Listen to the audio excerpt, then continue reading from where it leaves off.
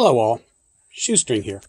Today I'm reviewing the Easylonger ES960 LiFePO4 battery in it.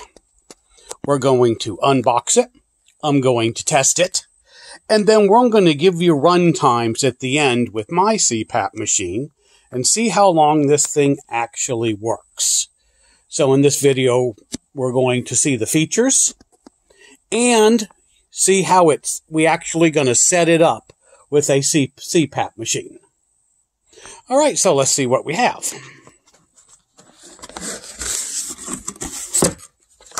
Manual, that's always very good. Cables, three, four, okay. Looks like a cord right there for the charger. Set that to the side.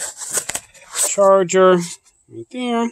Yeah, so charger goes over here. That's all that was in there. And cords. Looks like they go connectors for different CPAP machines, and they're also labeled for the different types right there. And okay, upright. Okay. That's a mini. And it looks like a another charging cord. Okay, so we'll set it over there with the charger. So one, two, three, four connectors for your CPAP machine. And we have a case right here. And it's in there pretty good. I like that. And it's kind of heavy to get out which is good, right? We want a machine that's going to be stable and sturdy. Okay, I've pulled it out of the box. It did have another a manual in it. So what I had at first was just a short, quick guide to connect. And remember, this device is DC. So you'll have to use devices that your CPAP machine will run DC. It'll also run quite a few other items, it looks like to me. And it has the wireless charging on top. I like that. I think this one is a 10 watt charger. All right, so let's see what we have. Digital LCD readout. I haven't turned it on yet. Haven't charged it up. I haven't done anything yet. Let's see what we have over here. To make sure you can see these real well. So I'll move them over here. So here you have your DC in and your USB-C in and out, which you can use to charge. Let's Go ahead and open it up. Right there. Okay, good. Here you see USB 2, USB 1, and DC out go ahead and open those up.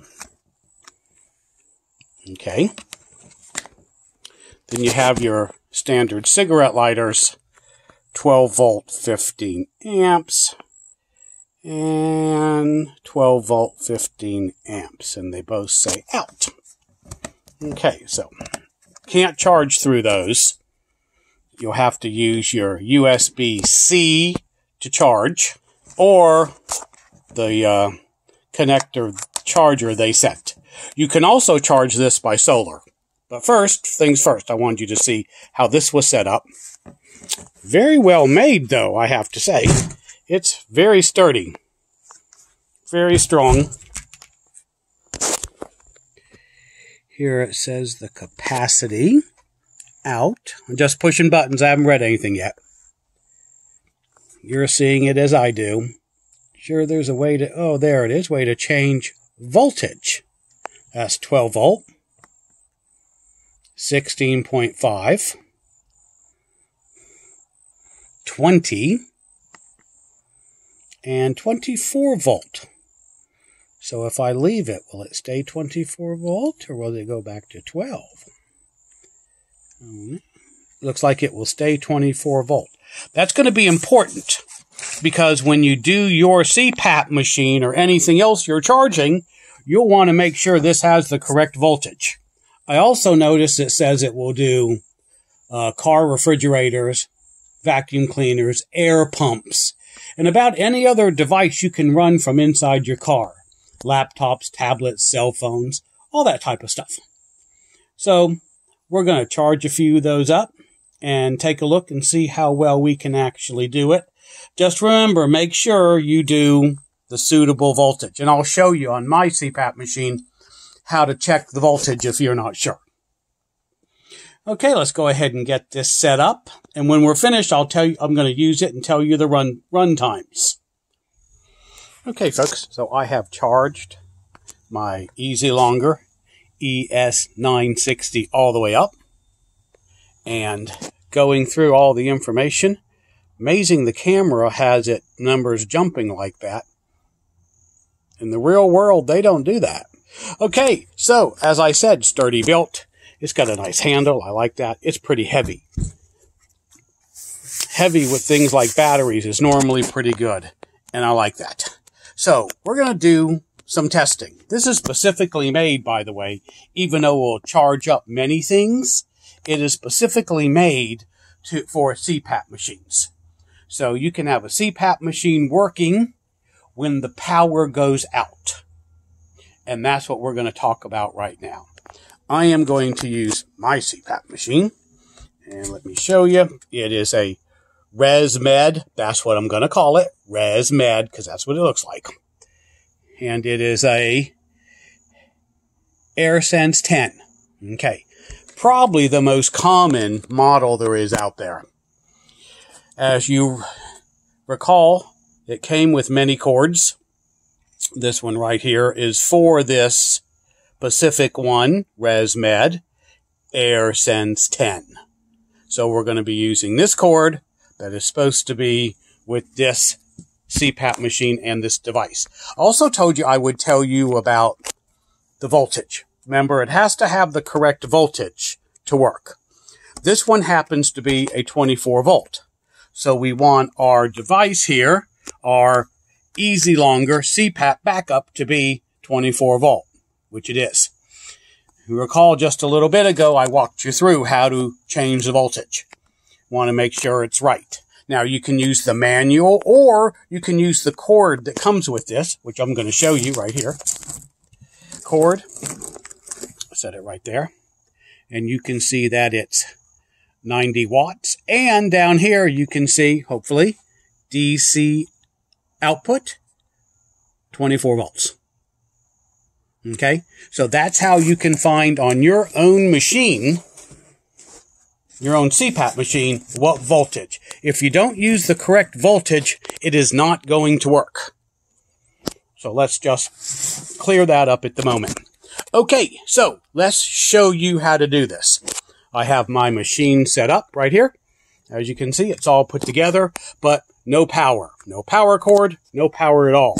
Just hooked up the way it's supposed to be, and the mask. So, we're going to take our Easylonger, and once again, you can see it says 24 volts, and it is fully charged. Okay, so we're going to pick it up. We're going to go to DC out. DC out. Right there. Good.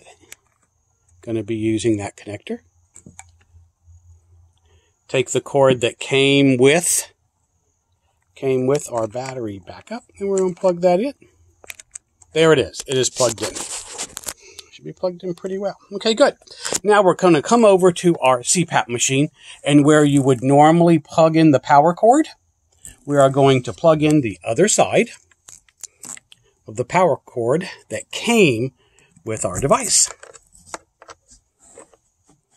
and that is now plugged in. And as you can see, hopefully, it just came on.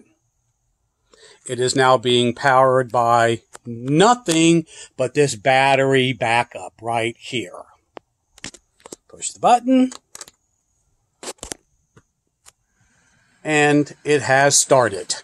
It will begin its sleep cycle right now. So that's how easy it is to make this work. Really simple. Now, I want to point out a few things. what you can do with it. Besides using it directly like this, you can also, by the way, plug it into the wall and then through the wall power through this device into your CPAP machine. So if you're sleeping with your regular house power and the power goes out, this will automatically kick in. So whoever the patient is getting the oxygen therapy can continue to sleep peacefully with no problem. Uh, and of course, you can use it when you're out camping, power outages, and I also told you I would tell you run times. I tested it myself. With everything left on, I didn't turn anything off, such as the humidifier or the tube heater, with everything turned on, and it ran right about eight hours, which is pretty good. Then I turned off the humidifier and the tube heater. And if you do that, you can run it, and I did for four days. The last day was about seven, seven and a half hours. Those are the run times I found as I was using this machine. So there you are. That's how you set your Easylonger 960 up with your CPAP machine. And whatever machine you have, uh, use the cord that comes with this, and it will be just as easy. Okay, besides doing it like this, let's go ahead and turn this off. We don't need to be running it anymore. I want to show you, you can also power it with a cigarette adapter. You plug it into the 12 volt. Let's turn this around so you can see. 12 volt cigarette adapter.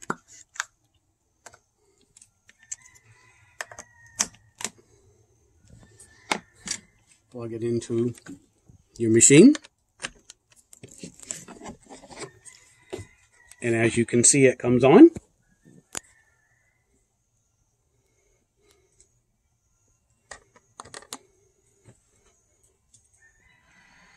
And there it goes. Just as easy as we did with the cord that actually came with our battery backup. Very cool. I think this works extremely well. I like it. Let's always point out, I am not being paid to do this video. No one gave me any money. So, it will charge, as we said earlier, for our little roundup here, a lot of different devices you may use when you're out camping or just when there's a power outage. But remember, this is only DC. If you want to run AC, you can, but you'll have to attach an inverter to it. It also has a very nice 10 watt wireless battery charger right there. Okay, if you have any questions about this, please put it down in the comments and I'll answer as many of them as I can get to. Like, subscribe, and hit that little notification bell if you like these, and share this with someone you think may have a need for this or may just enjoy the video. Shoestring out.